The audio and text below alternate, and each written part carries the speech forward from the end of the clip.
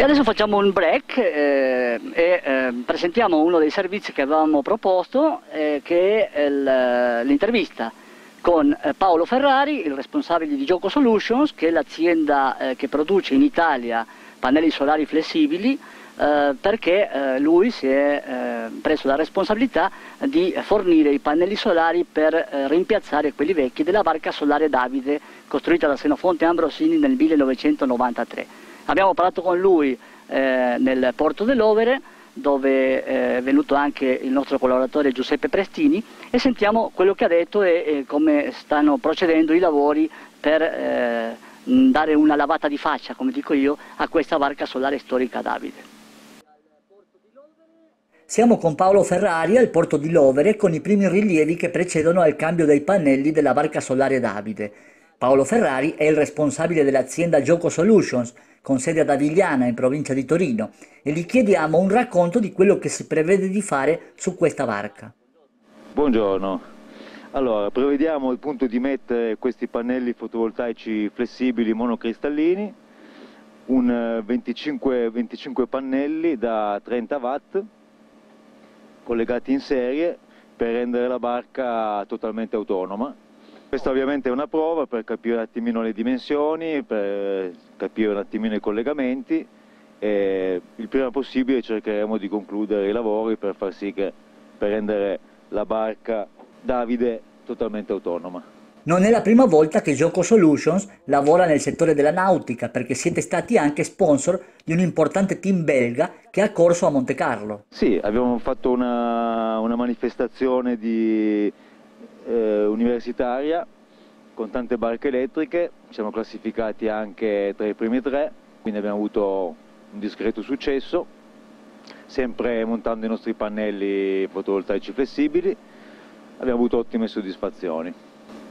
Come è venuto in mente di fabbricare questo tipo di pannelli flessibili? E bisogna dire che vengono costruiti interamente ad Avigliana, quindi sono completamente italiani, in momenti in cui risulta difficile costruire qualcosa in Italia.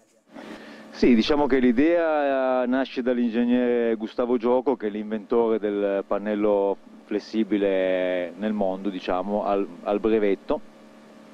Ci siamo ritrovati dopo anni e abbiamo aperto questa, questa azienda e ci siamo messi pian pianino a, a fare pannelli fotovoltaici flessibili e poi stiamo sviluppando anche un discorso di mobilità sostenibile con biciclette elettriche, appunto barche elettriche, veicoli elettrici, tutto, che, tutto quello che riguarda la mobilità sostenibile. Ritornando a parlare di nautica, collaborate anche con GoGo di Garda Solar. Sì, stiamo, abbiamo sviluppato con loro la loro GoGo Gioco Solution, abbiamo fatto una barca appunto con loro, abbiamo messo i nostri pannelli, e stiamo avendo anche lì ottime, ottime soddisfazioni e speriamo di continuare con loro. Parlavamo di pannelli solari flessibili, possiamo vedere quanto sono flessibili? Facciamo un primo piano. Allora, se collegato la flessibilità è del 25%, come si può ovviamente è un pannello piccolino, quindi più che la flessibilità la cosa molto importante di questi pannelli è il peso. Sono 6 volte più leggeri di quelli tradizionali, quindi hanno tantissimi tipi di applicazioni che vanno dalla nautica al camper, ai bivacchi d'alta montagna, eh, a tutte situazioni dove appunto il peso è, è fondamentale. Va detto che non si possono piegare a 90 gradi. No, hanno una curvatura del 25%. Invece dicevi in più di un'occasione che sono competitivi a livello di edilizia. Bah, eh, non sono competitivi nell'edilizia tradizionale, diciamo dove ci sono problemi di, di portata peso come nei paesi eh, in Africa o in determinate situazioni sono molto competitivi. Un elemento importante, diciamo che questi pannelli sono nati proprio per i paesi del terzo mondo. Per che motivo? Perché dove ci sono problemi di trasporto c'è una grossa rottura di pannelli, quindi diciamo che nel trasporto un 20% di pannelli veniva danneggiato. Questi qua essendo appunto con dei materiali eh, leggeri e praticamente diminuisce notevolmente il rischio di, di danneggiare il pannello. Il principale mercato qual è attualmente? Il principale mercato è, beh, abbiamo vari tipi di mercati, abbiamo un mercato canadese, australiano, americano, mm, Nord Europa e poi anche l'Italia comunque ci dà belle soddisfazioni. Fabbricate diversi tipi di pannelli o soltanto pannelli di questo tipo?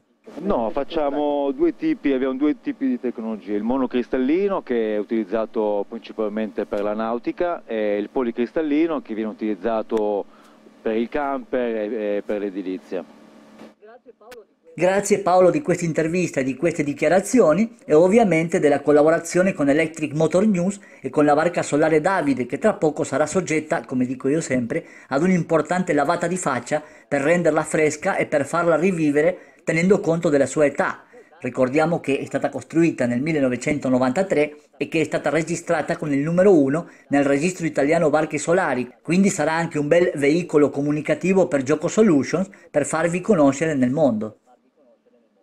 Grazie a voi, eh, speriamo di fare un bel lavoro.